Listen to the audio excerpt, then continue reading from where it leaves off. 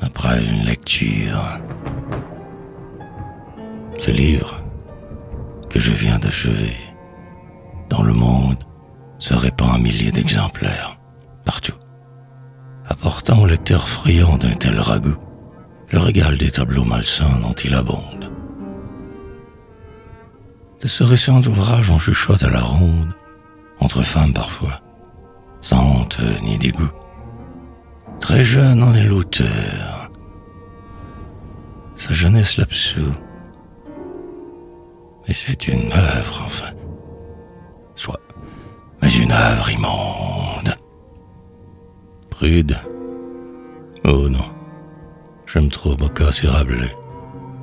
Mais j'ai l'égal d'un vrai crime. J'ai la morne obscénité, triste comme un carême. On me lira très peu plus tard, comme à présent.